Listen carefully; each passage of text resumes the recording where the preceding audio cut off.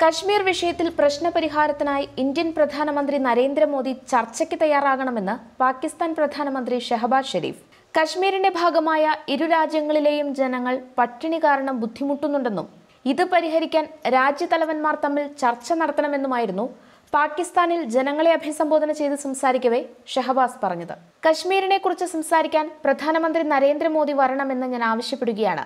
ഇരുവശത്തും ജനങ്ങൾ പട്ടിണി കാരണം ബുദ്ധിമുട്ടുകയാണ്. നമ്മൾ പരസ്പരം സംസാരിക്കേണ്ടതുണ്ട് ഷഹബാസ് പറഞ്ഞു. കശ്മീരിന്റെ പ്രത്യേക പദവി എടുത്തുകളഞ്ഞ വിഷയത്തിൽ ആർട്ടിക്കിൾ ത്രീ സെവന്റി പിൻവലിച്ചപ്പോൾ മുൻപത്തെ ഇമ്രാൻഖാൻ സർക്കാർ വേണ്ട നടപടികളൊന്നും എടുത്തിട്ടില്ല.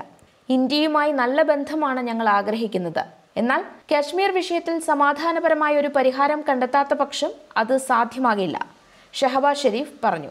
അതേസമയം രാജ്യത്തിന്റെ ചരിത്രത്തിലെ ഏറ്റവും വലിയ ബജറ്റ് കമ്മിയും ചരിത്രപരമായ വ്യാപാരവും കറന്റ് അക്കൗണ്ട് കമ്മിയും രേഖപ്പെടുത്താനുള്ള പാതയിലാണ് പാകിസ്ഥാൻ പോകുന്നതെന്നും ഷഹബാസ് ഷെരീഫ് കൂട്ടിച്ചേർത്തു. സ്ഥാനമൊഴിയുന്ന ഇമ്രാൻഖാൻ സർക്കാർ സമ്പദ് വ്യവസ്ഥയെ തെറ്റായി കൈകാര്യം ചെയ്യുകയാണെന്ന് അദ്ദേഹം ആരോപിച്ചു.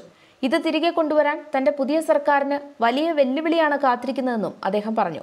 യൂറോപ്യൻ യൂണിയനുമായി നല്ല ബന്ധം നിലനിർത്താനുള്ള ആഗ്രഹം പ്രകടിപ്പിച്ച ഷഹബാസ് അടുത്ത വർഷം generalised scheme of preferences plus പദവി നീട്ടാൻ ശ്രമിക്കുമെന്നും പറഞ്ഞു. ശനിയാഴ്ച നടന്ന അവിശ്വാസ പ്രമേയത്തിന് വേണ്ടിയുള്ള വോട്ടെടുപ്പിൽ പാകിസ്ഥാൻ ദേശീയ അസംബ്ലിയിൽ നൂറ്റി എഴുപത്തിനാല് അംഗങ്ങൾ എതിർത്തതിനാലാണ് ഇമ്രാൻഖാന് രാജിവെക്കേണ്ടി വന്നത്. അവിശ്വാസ പ്രമേയത്തിലൂടെ അധികാരത്തിൽ നിന്ന് പുറത്താക്കപ്പെടുന്ന പാകിസ്ഥാന്റെ ചരിത്രത്തിലെ ആദ്യത്തെ പ്രധാനമന്ത്രിയാണ് ഇമ്രാൻഖാൻ തന്നെ പുറത്താക്കാൻ വിദേശ ശക്തികൾ ഗൂഢാലോചന നടത്തിയെന്ന് ഇമ്രാൻഖാൻ പറയുന്നു. അതേസമയം പ്രതിപക്ഷ പാർട്ടികളുടെ സംയുക്ത സ്ഥാനാർത്ഥിയായിട്ടാണ് പാകിസ്ഥാൻ മുസ്ലിം ലീഗ് നവാസ് വിഭാഗം നേതാവായ ഷഹബാസ് ഷെരീഫിന്റെ പേര് പ്രധാനമന്ത്രി പദവിയിലേക്ക് നിർദ്ദേശിച്ചത്. നിലവിൽ പാകിസ്ഥാൻ മുസ്ലിം ലീഗിന്റെ ദേശീയ പ്രസിഡന്റാണ് ഷഹബാസ് ഷെരീഫ്.